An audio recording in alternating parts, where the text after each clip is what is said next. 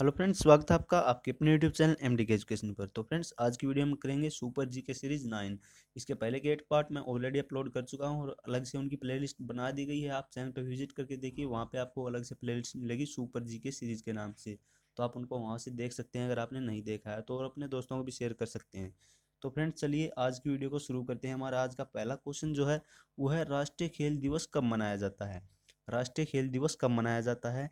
तो इसका आपका चार ऑप्शन दिए गए हैं। यहाँ से इनमें से जो राइट आंसर होगा, वो होगा ऑप्शन ए उनतीस अगस्त को राष्ट्रीय खेल दिवस मनाया जाता है। उनतीस अगस्त इसका राष्ट्र बिल्कुल सही करेक्ट आंसर है। उसके अलावा राष्ट्रीय खेल दिवस किसकी याद में मनाया जाता है? ये क्वेश्चन इंपॉर्टेंट हो जाता है। तो ये मेजर ध्यानचंद की याद में मनाया जाता है। अब मेजर ध्यानचंद का नाम आ गया तो इनसे रिलेटेड कुछ क्वेश्चन जान लीजिए। मेजर ध्यानचंद को हॉकी का जादूगर कहा जाता है। काफ़ी इंपॉर्टेंट जो पॉइंट बन जाता है यहाँ से कि हॉकी का जादूगर किसे कहा जाता है? इसका आंसर होगा मेजर ध्यानचंद। उसके अलावा मेजर ध्यानचंद बहुत ही प्रसिद्ध व्यक्ति थे। ये हमारी भारत की सेना में रह चुके हैं आर्मी में रह चुके हैं। इन्होंने तीन बार ओलंपिक में गोल्ड मेडल दिलाए हैं भारत को हॉकी में। ये हॉकी में प्रसिद्ध है, इसलिए इनको हॉकी का जादूगर कहा जाता है। इन्होंने तीन बार भारत को ओलंपिक में गोल्ड मेडल दिलाए हैं, तीनों बार लगातार। एक बार 1928 में, एक बार 1932 में और एक बार 1936 में। 1928 में एम्स्टर्डम के ओलंपिक में 1932 में लॉस एंजलिस के ओलंपिक में और 1936 में बर्लिन में जो ओलंपिक हुआ था वहाँ पे। अब इनको उन्नीस सौ छप्पन में पद्म भूषण पुरस्कार भी मिल चुका है। उसके अलावा इनको भारत रत्न जो पुरस्कार है, उसके लिए भी काफ़ी बार इनकी सिफारिश की जा चुकी है कि इनको मिलना चाहिए। ठीक है? तो ये कुछ पॉइंट्स आपको इस क्वेश्चन के बारे में ध्यान रखने हैं। उसके अलावा एक और मोस्ट इम्पोर्टेंट पॉइंट कि एक बार हिटलर जो था, जर्मनी का शासक आपको पता है, उसके द्वारा इनको जर्मन आर्मी में सीनियर सीनियर जो पोस्ट थी वो ऑफ़र की गई थी। बट इन्होंने उसको रिफ्यूज़ कर दिया क्योंकि इन्होंने देश प्रेम की भावना कूट कूट कर भरी हुई थी। ये अपने देश के साथ गद्दारी नहीं कर सकते। उन्होंने इसको ऑफ़र किया कि आप, हमारी जो जर्मन आर्मी है, उसमें मैं आपको एक सीनियर पोस्ट दूँगा, आप वहाँ से हॉकी खेलिए जर्मन की तरफ़ से, लेकिन इन्होंने रिफ्यूज़ कर दिया उस पोस्ट को। तो ये कुछ पॉइंट्स आपको इस क्वेश्चन के बारे में याद रखने हैं। नेक्स्ट हमारा क्वेश्चन है second question friends second question है, भारतीय राष्ट्रीय कांग्रेस की पहली महिला अध्यक्ष कौन बनी? इससे पहले मैं आपको एक बार मेजर ध्यानचंद का फ़ोटो दिखा देता हूँ। ये आप जो फ़ोटो में दिख रहे हो सामने, ये मेजर ध्यानचंद है। अब हमारा क्वेश्चन आता है, भारतीय राष्ट्रीय कांग्रेस की पहली महिला अध्यक्ष कौन बनी? तो इसमें से आपको चार ऑप्शन में से मैं राइट आंसर बता देता हूँ आपको। ऑप्शन बी यहाँ पे राइट आंसर हो जाएगा एनी बेसेंट भारतीय राष्ट्रीय कांग्रेस की पहली महिला बनी एनी बेसेंट एनी बेसेंट और बाल गंगाधर तिलक इन दोनों ने मिलकर होम रूल लीग की भी स्थापना की थी। होम रूल लीग की स्थापना। उसके अलावा एक क्वेश्चन और इम्पोर्टेंट बन जाता है यहाँ से। क्या एक तो है भारतीय राष्ट्रीय कांग्रेस की पहली महिला अध्यक्ष। दूसरा भारतीय राष्ट्रीय कांग्रेस की पहली भारतीय महिला अध्यक्ष। ये तो होगी पहली महिला अध्यक्ष एनी बेसेंट। अब अगर क्वेश्चन आए ना, पहली भारतीय महिला अध्यक्ष तो आपका वहाँ पे राइट आंसर क्या होगा? सरोजनी नायडू। पहली भारतीय महिला अध्यक्ष भारतीय राष्ट्रीय कांग्रेस की बनी सरोजनी नायडू। तो ये आपको सेकंड क्वेश्चन के बारे में ध्यान रखना फ्रेंड्स ठीक है? एनी बेसेंट का मैं आपको एक बार फ़ोटो दिखा देता हूँ। ये जो आपको सामने स्क्रीन पर दिख रही है, ये एनी बेसेंट है, जिसका अभी मैंने क्वेश्चन में ज़िक्र किया। तो फ्रेंड्स, आपको वीडियो कैसा लग रहा है? अभी वीडियो को पोज करके कमेंट कीजिए वीडियो के बारे में। आप अपना सजेशन भी दे सकते हैं कि आपको इसमें और क्या चेंजमेंट चाहिए हैं। कुछ फ्रेंड्स के सजेशन आए हैं कि वॉइस को थोड़ा लाउड करो। तो अभी एक दो दिन में मैं आपके लिए कुछ अच्छे से माइक का इंतज़ाम करूँगा, जिससे आपको वॉइस में कोई प्रॉब्लम नहीं आएगी। तब तक आप थोड़ा सा कोऑपरेट करना। उसके अलावा आप जो भी सजेशन आप सजेस्ट कर सकते हो और कमेंट में अपना कीमती फीडबैक ज़रूर देना कि आपको वीडियो कैसा लग रहा है। वीडियो का जो तरीका हुआ, आपको पसंद आ रहा है कि नहीं आ रहा है, ये जाना मेरे लिए बहुत बेहद इम्पोर्टेंट है, ठीक है? तो इस, इसी के रिगार्डिंग हम आज की वीडियो का जो है टारगेट रखते हैं, ढाई सौ लाइक ज़्यादा नहीं, मैं सिर्फ़ ढाई सौ लाइक्स का इस वीडियो का टारगेट रखता हूँ। और ये जो मेरा टारगेट है, वो आप ही का टारगेट है, क्योंकि ये वीडियो आप ही के लिए बनाई जा रही है, इसलिए टारगेट भी आप ही का है। देखते हैं कितनी जल्दी आप अपना टारगेट अचीव करते हो, ढाई सौ लाइक का। और वीडियो को ना शेयर ज़रूर किया करो। जितने आपके पास स्टडी ग्रुप है, सब में इस वीडियो को शेयर कर दिया करो। ये मेरी आपसे रिक्वेस्ट है हम्बल रिक्वेस्ट ठीक है? नेक्स्ट क्वेश्चन पे चलते हैं हम। थर्ड क्वेश्चन हमारा, देश बंधु के नाम से किसे जाना जाता है? देश बंधु के नाम से किसे जाना जाता है? तो ये चार ऑप्शन दिए गए हैं यहाँ पे। इनमें से जो राइट आंसर होगा, वो होगा आपका चितरंजन दास। चितरंजन दास को देश बंधु के नाम से जाना जाता है। तो राइट आंसर हो गया ऑप्शन बी इसके अलावा एक है दीन बंधु। देश बंधु और दीन बंधु, इन दोनों में काफ़ी आपको कन्फ्यूज़न होता है। तो दीन बंधु के नाम से जाना जाता है सी एफ़ एंड्रयूज को। सी एफ़ एंड्रयूज को दीन बंधु के नाम से जाना जाता है और देश बंधु के नाम से चित्रंजन दास ये आपको ध्यान रखना है। एक बार आप दोनों की फ़ोटो देख लीजिए। ये जो आपको बाई तरफ़ दिख रहे हैं, ये हैं सी एफ़ एंड्रयूज जिनको दीन बंधु के नाम से जाना जाता है, और राइट में चित्तरंजन दास हैं, जिनको देश बंधु के नाम से जाना जाता है। ठीक है? पिक्चर में आपको इसीलिए दिखाता हूँ ताकि आपकी मेमोरी में जो नॉलेज है, वो ज़्यादा टाइम तक सेव रहे, क्योंकि हमारी विजुअल मेमोरी ज़्यादा होती है, ऑडिबल मेमोरी की अपेक्षा। अब नेक्स्ट क्वेश्चन है हमारा, फोर्थ क्वेश्चन। नरोरा परमाणु विद्युत ग्रह कहाँ स्थित है? नरोरा परमाणु विद्युत ग्रह कहाँ स्थित है? आपके पास चार ऑप्शन दिए गए हैं, उड़ीसा, कर्नाटक, बिहार और उत्तर प्रदेश। तो मैं आपको बता दूँ, जो नरोरा परमाणु विद्युत ग्रह है, वो उत्तर प्रदेश में बुलंदशहर में स्थित है। उत्तर प्रदेश में बुलंदशहर में यह नरोरा परमाणु विद्युत ग्रह स्थित है। यानी कि यहाँ पे राइट आंसर हो गया ऑप्शन डी उन्नीस सौ इक्यानवे में इसकी स्थापना की गई थी। चलिए, अब हमारा नेक्स्ट क्वेश्चन है फिफ्थ नंबर क्वेश्चन पीचर शब्द किस खेल से संबंधित है? तो पीचर शब्द जिस खेल से संबंधित है, उस खेल का नाम है बेसबॉल यानी कि सी ऑप्शन यहाँ पे राइट आंसर हो गया आपका। सॉरी सी ऑप्शन नहीं, मैं यहाँ पे गलत बता गया थोड़ा सा sorry B option B option है बेसबॉल बेसबॉल से संबंधित है पिक्चर शब्द। अब बेसबॉल की बात आ गई तो बेसबॉल के बारे में थोड़ा जान लीजिए। बेसबॉल में खिलाड़ियों की संख्या कितनी होती है? नो, सबसे इंपॉर्टेंट क्वेश्चन उसके अलावा बेसबॉल के खेल के मैदान को क्या कहा जाता है? बेसबॉल का जो खेल का मैदान है, उसको डायमंड के नाम से जाना जाता है, डायमंड। डायमंड इसके खेल के मैदान को कहा जाता है। ये दो क्वेश्चन यहाँ से और इम्पोर्टेंट हो जाते हैं, बेहद इंपॉर्टेंट है क्वेश्चन यहाँ से। नेक्स्ट क्वेश्चन आपका सिक्स क्वेश्चन ओस्कर पुरस्कार कब शुरू हुए? ओस्कर पुरस्कार जो कि एक इंटरनेशनल लेवल का पुरस्कार है, जो कि फिल्मी क्षेत्र में दिया जाता है। फिल्मी क्षेत्र में इंटरनेशनल लेवल पे पुरस्कार दिए जाते हैं ओस्कर पुरस्कार। ये शुरू कब हुए? ये क्वेश्चन है यहाँ पे तो ये शुरू हुए थे उन्नीस सौ उनतीस में, यानी कि बी ऑप्शन यहाँ पे राइट आंसर हो जाता है। तो हमारा नेक्स्ट क्वेश्चन है सेवन्थ क्वेश्चन सेवन्थ क्वेश्चन पे चलते हैं अब हम। भारतीय राष्ट्रीय ध्वज की लंबाई व चौड़ाई का अनुपात कितना है? यहाँ पे आपको चार ऑप्शन दिए गए हैं तो इनमें से राइट आंसर होगा आपका तीन अनुपात दो। यानी कि लंबाई हो गई तीन और चौड़ाई हो गई दो। तीन अनुपात दो के अनुपात में भारतीय राष्ट्रीय ध्वज की लंबाई और चौड़ाई है। अब मैंने ऑप्शन में यहाँ पे ए ऑप्शन में आपको दो अनुपात तीन दिया है तो ये इजीलिए दिया है ताकि आप गलती ना करें। इसको मैं यहाँ पे आपको एक्सप्लेन करना चाहता हूँ। दो अनुपात तीन का मतलब हो गया लंबाई दो और चौड़ाई तीन। तो ये आंसर नहीं होगा, कहीं आप इसको आंसर लगा दो। तीन अनुपात दो होगा, यानी लंबाई तीन और चौड़ाई दो, इस तरह से, ठीक है? तो उसके अलावा जो भारतीय राष्ट्रीय ध्वज है, उसमें तीन रंग की, तीन तीन रंगों की तीन पट्टियाँ होती हैं। कौन कौन से रंग की? सबसे ऊपर केसरिया, फिर बीच में सफ़ेद रंग की पट्टी और नीचे, सबसे नीचे हरे रंग की पट्टी। और जो बीच में सफ़ेद रंग की पट्टी होती है, उसमें एक नीला चक्कर होता है, जिसमें चौबीस तीलियाँ होती हैं। उसके अलावा कुछ इंपॉर्टेंट क्वेश्चन है दो तीन वो आप जान लीजिए। भारतीय राष्ट्रीय ध्वज को अंगीकृत कब किया गया? यानी कि स्वीकार कब किया गया? बनाया कब गया?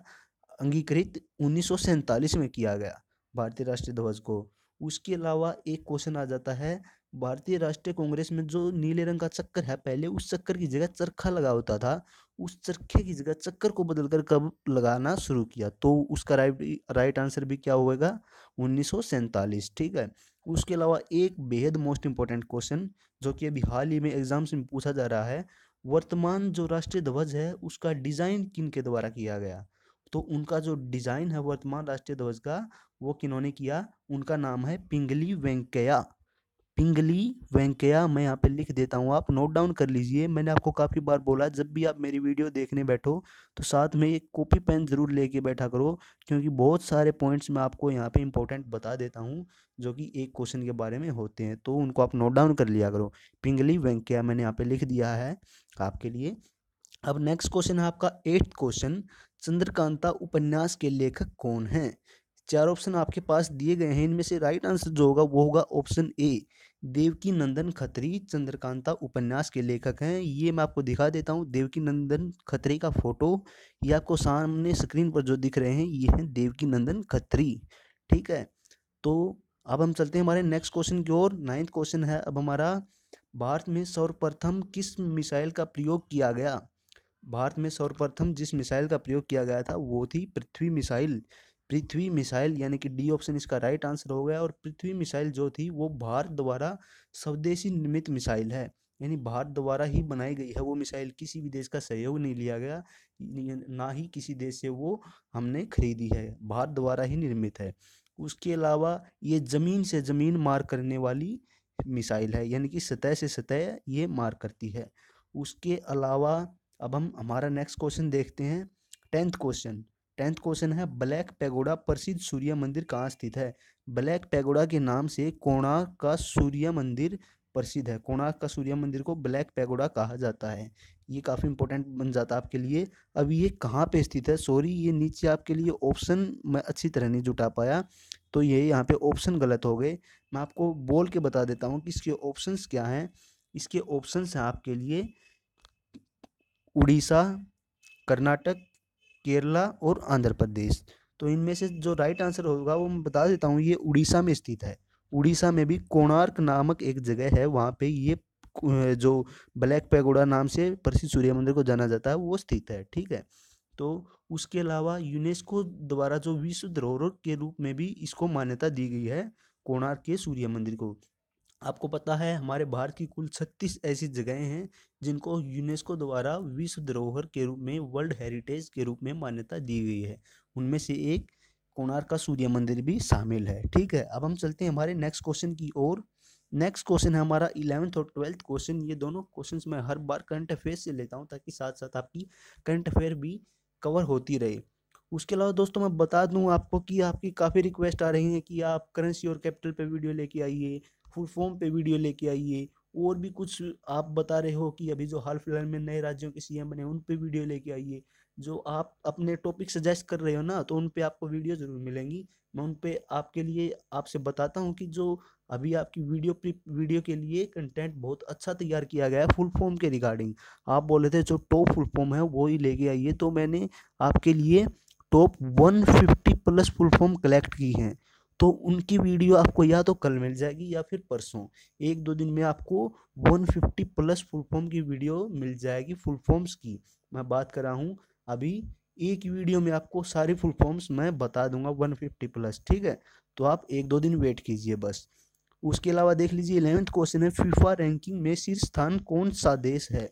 शीर्ष स्थान पर कौन सा देश है? शीर्ष यानी कि टॉप पर सबसे पहला स्थान कौन सा फीफा रैंकिंग में किस देश का? तो यहाँ पे चार ऑप्शन दिए गए हैं आपके लिए। इनमें से राइट आंसर होगा ऑप्शन बी बेल्जियम का यहाँ पे शीर्ष स्थान है, प्रथम स्थान है फीफा रैंकिंग में। उसके अलावा दूसरा और तीसरा स्थान की बात करी जाए तो सेकंड नंबर पे है फ्रांस और थर्ड नंबर पे है ब्राज़ील ठीक है? ये कुछ आपके पॉइंट्स इस क्वेश्चन से बन जाते हैं। उसके अलावा यहाँ पे फीफा की बात की गई है तो फीफा की फुल फॉर्म भी आपको पता होनी चाहिए। फीफा की फुल फॉर्म क्या होगी? Federation international de football association federation international de de यहाँ पे इस तरह से लिखा जाएगा। D E de football association ठीक है? ये फुल फॉर्म का क्वेश्चन भी इस करेंट अफेयर के क्वेश्चन में से आपके लिए निकल गया ठीक है? तो अब हम हमारा नेक्स्ट क्वेश्चन है। उस पर चलते हैं ट्वेल्थ क्वेश्चन हाल ही में साइकिल से दुनिया का चक्कर लगाने वाली सबसे तेज एशियाई महिला कौन बनी है? यहाँ पे चार ऑप्शन आपके लिए दिए गए हैं तो इनमें राइट आंसर जो होगा, वो होगा आपका वेदांगी कुलकर्णी। यानी कि ऑप्शन सी यहाँ पे राइट आंसर हो जाएगा। अब ये हुआ है एशियाई महिला की बात। अगर यहाँ पे वर्ल्ड में बात की जाए तो वर्ल्ड में है ब्रिटेन की जेमी ग्राहम।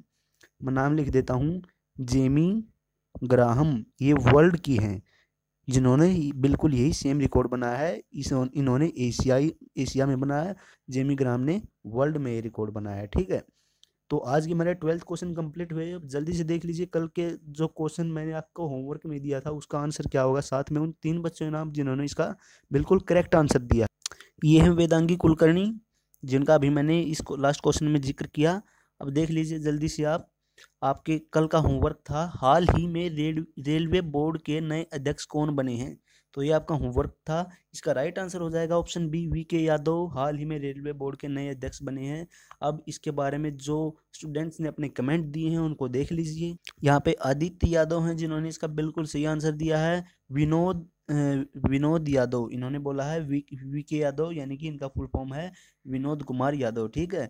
तो आदित्य यादव ने बिल्कुल सही जवाब दिया इस क्वेश्चन का और इन्होंने साथ में हमारी तारीफ़ भी की है। वेरी नाइस वीडियो तो थैंक्स आदित्य आपको कि आपने हमारी इतनी तारीफ़ की उसके लिए। अब नेक्स्ट हैं जो वो हैं आकाश तिवारी। इन्होंने बताया दक्षिण मध्य रेलवे के जनरल महाप्रबंधक वी के यादव को रेलवे बोर्ड का नया चेयरमैन नियुक्त किया गया है। बिल्कुल सही आंसर इन्होंने बताया है। अब जो इन्होंने साथ में कमेंट किए, वो बोला है सर, हम आपके साथ हैं और और साथ मेहनत करेंगे हार्टली थैंक यू सर तो ऐसे ऐसे कमेंट देख के ना दिल बहुत खुश हो जाता है मेरा आपकी जब ऐसे कमेंट्स में देखता हूँ, ठीक है? तो अब देखते हैं नेक्स्ट क्वेश्चन है सचिन भारद्वाज सॉरी क्वेश्चन क्या गया मैं? कमेंट ये आप इनका फ़ोटो देख सकते हो। इन्होंने बिल्कुल सही आंसर दिया है वी के यादव है। वी के यादव बिल्कुल सही आंसर है इनका। उन्होंने बोला, इससे पहले अश्विनी लोहानी थे। और साथ में इन्होंने हमारी कुछ तारीफ़ भी की है। सर, आप ग्रेट हैं और टीचिंग का आर्ट आपका फैंटेस्टिक है। आई सैल्यूट यू जय हिंद। जय हिंद, सचिन भारद्वाज। आपको भी तो ये देख लीजिए आपका आज का होमवर्क ये क्वेश्चन है कि हाल ही में महिला विज्ञान कांग्रेस का उद्घाटन कहाँ किया गया? हाल ही में महिला विज्ञान कांग्रेस का उद्घाटन कहाँ किया गया है? आपके पास चार ऑप्शन दिए गए हैं। आप जल्दी से अभी वीडियो के नीचे कमेंट बॉक्स में कमेंट कीजिए। इस क्वेश्चन का राइट आंसर और साथ में वीडियो के बारे में थोड़े से अपने सजेशन भी दीजिए कि आपको और क्या इसमें इम्प्रूवमेंट चाहिए और वीडियो के बारे में अपना कीमती फीडबैक ज़रूर देना, उसको देना ना भूलें। अगर आपको वीडियो ज़रा सा भी हेल्पफुल लगता है आपके लिए और लगता है कि इस वीडियो से किसी का भला हो सकता है तो इस वीडियो को ज़रूर शेयर करना, जितने आपके पास स्टडी ग्रुप हैं या फिर आपके फ्रेंड्स हैं उनके साथ। दोस्तों, आपके लिए इतना अच्छा मेटल इस वीडियो में लाया जा रहा है तो थोड़ी तो आपकी भी जिम्मेवारी बनती है इस वीडियो को शेयर करने की। बस आपका कुछ नहीं ज़्यादा फ्री में आप वीडियो को शेयर किया कीजिए और वीडियो को ज़्यादा से ज़्यादा लाइक ज़रूर किया कीजिए यार। आप जितने लाइक्स करते हो, उतना आपका प्यार हमारे ऊपर बरसता है और हमारा प्यार आपके ऊपर बरसता है वीडियो के माध्यम से बेस्ट क्वेश्चंस के माध्यम से, ठीक है? तो दोनों अल्टरनेटिव्स हैं, एक दूसरे से जुड़े हुए हैं कनेक्शन है। आप जितना प्यार दिखाओगे, आपको उतना ही अच्छा मेटल मिलता रहेगा। तो फ्रेंड्स आज की वीडियो मैं यहीं पे समाप्त करता हूँ और आपसे अलविदा कहता हूँ। फिर मिलते हैं हम नेक्स्ट वीडियो में। जय हिंद, जय भारत।